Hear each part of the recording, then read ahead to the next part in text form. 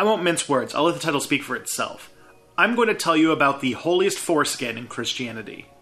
This is the legend of the Holy Prepuce, the Holy Hood of Jesus Christ.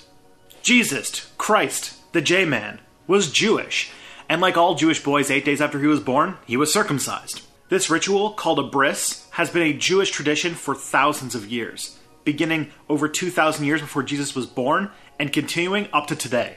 According to tradition, the foreskin would have been wrapped in a cloth and buried. However, Jesus wasn't any ordinary Jewish baby. According to legend, a woman who recognized the importance of the baby took the foreskin and saved it in a jar of preservation oil. If Christian doctrine is to be believed, Jesus' body physically ascended to heaven, but a few parts of him remain.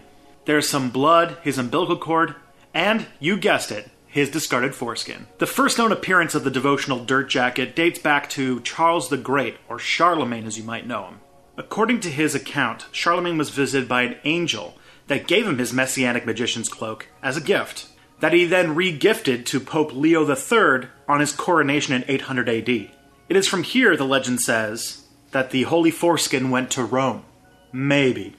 There's actually another story that the hallowed turtleneck that was sent to Rome was actually a fake, and that Charlemagne kept the real one. He took it deep into rural France and hid it in a church in Conques. They claim to have it today in a special box that nobody can look inside. However, the most accepted story is that the angelic beanie went to Rome. It was after this when the foreskin enjoyed centuries of being one of the tip top relics in Christianity, a cut above the rest, if you will.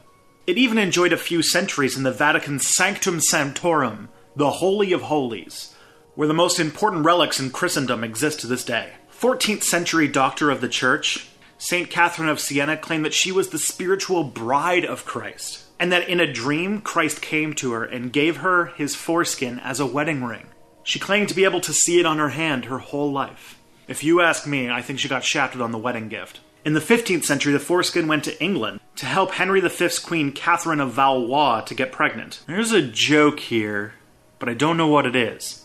At the tip of my tongue, though. There were skeptics, though, that the Immaculate Jacket was on Earth. Some theologians, like Leo Allatius in the 17th century, theorized that the foreskin did ascend to heaven with Christ, and that it became the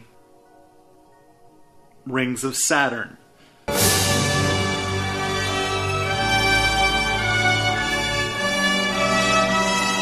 In the medieval and early modern period, relics like the Holy Foreskin became a source of big business. Churches collected the remains and belongings of all of the saints, apostles, and holy figures they could and watched closely for miracles. Well known relics would draw huge crowds for Christians on pilgrimage, and that meant big bucks for big ticket relics. Churches would, on occasion, even steal relics from each other, in a medieval heist movie we are tragically deprived from.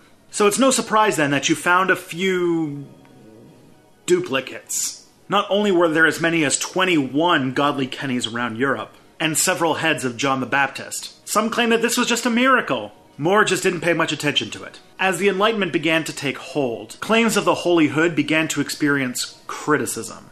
Protestants mocked it mercilessly, and the church became more and more uncomfortable with the concept of the foreskin of Christ being on earth. It actually caused a lot of theological issues because Catholics believed in something called transubstantiation. Catholics debated to which degree this is metaphorical or literal, but when the Catholics take the Eucharist, eat this bread for it is my body, etc., some theologians believe that the wafer actually became a hunk of Jesus meat going down the throat.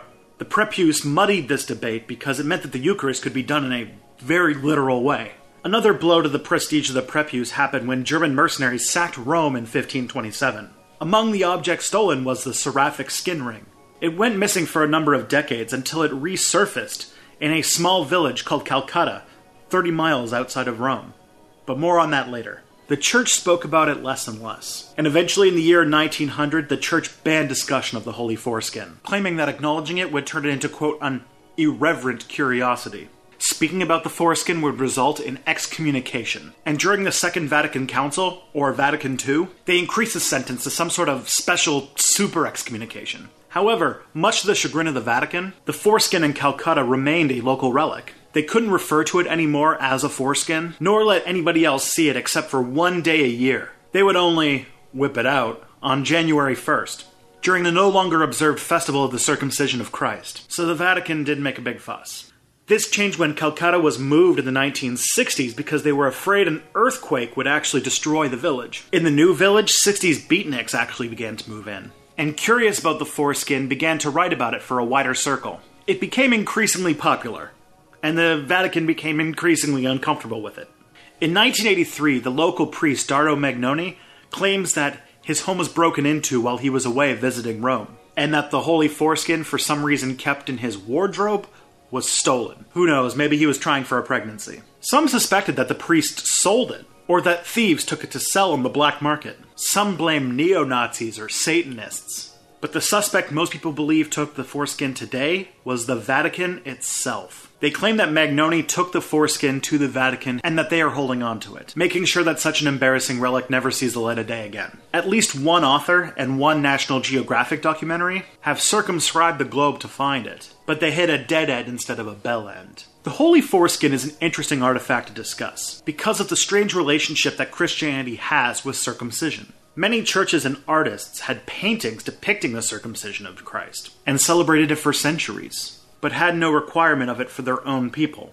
Catholics believe that the circumcision has been replaced with the baptism. Moreover, circumcision was a symbol of Judaism and often used as another weapon of anti Semitism in times like the Spanish Inquisition. As early as the 5th century, early Christians were distancing Jesus from his Jewishness. Some argue that because Christ's father was not human, he wasn't really Jewish. The circumcision of Jesus Christ then was in an uncomfortable position and needed explanation. Hard to do when there's 21 foreskins dancing around Europe. I know this all sounds silly, and it is. But this is just one example of the power of relics in pre Enlightenment Christianity. The foreskin is one of many relics that were not only big business, but to many devout followers of Christianity, a physical link between the earthly and the divine.